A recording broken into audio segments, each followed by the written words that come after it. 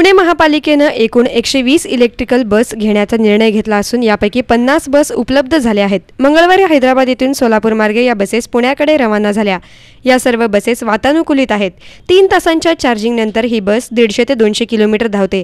या बसेससाठी पुण्यात भक्ती शक्ती बस टर्मिनलमध्ये पाच चार्जिंगचे पॉईंट केले आहेत.